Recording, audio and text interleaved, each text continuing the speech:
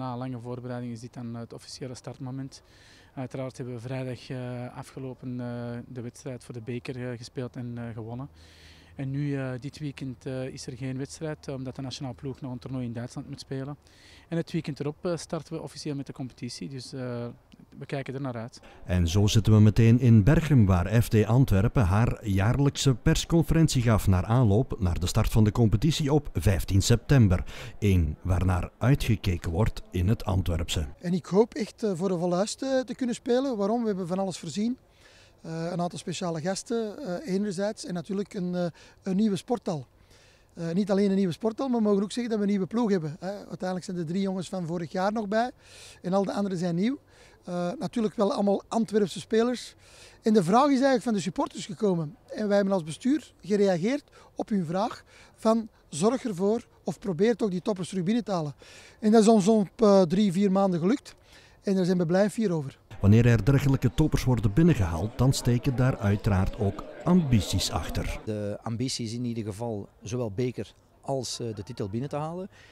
Ik denk dat het een unicum is met allemaal Antwerpse jongeren. Ik hoor continu geklaag over haakjes te, te, veel buitenlanders in België. Vanmorgen op de radio hoorde ik nog dat binnen de Belgische voetbalbond men toch bepaalde stappen gaat zetten om de Belgische jeugd meer kansen te geven. Wel, dan zou ik zeggen van kom eens kijken in, in Antwerpen hoe dat wij dat aanpakken. En ja, 100% Antwerpenaars, dat is om het in het Frans te zeggen, du jamais vu. We hebben twee visies. We hebben een visie op lange termijn. We hebben met de spelers drie tot vijf jaar contracten, enerzijds. We hebben gezegd, we gaan alleen verder met Antwerpenaren. We gaan niet naar Brazilië, Spanje of Italië.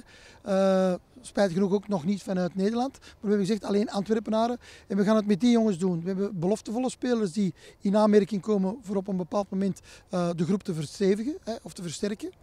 Uh, nee, onze ambitie is alle prijzen die op onze weg liggen, om daar mee te doen.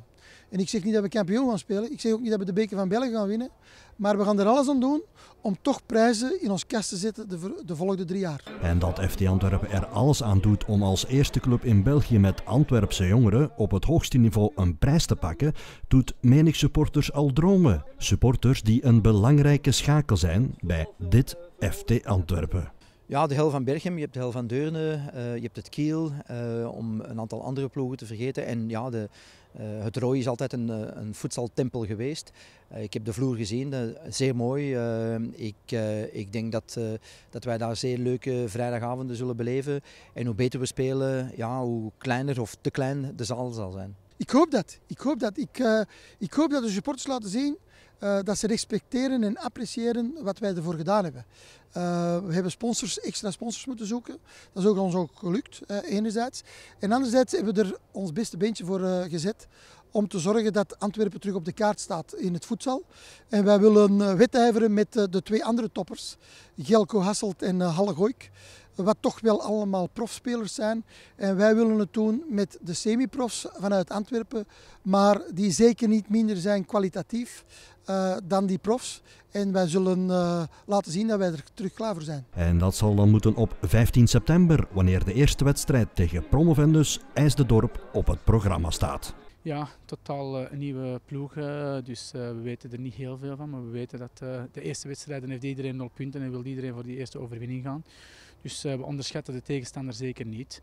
Dus ik ben benieuwd. Maar tegen wie dat we ook spelen elke week zullen we voluit voor die overwinning gaan. Ik denk dat de ploegen dat ook allemaal zullen doen. En ik denk dat de competitie alleen maar sterker is geworden.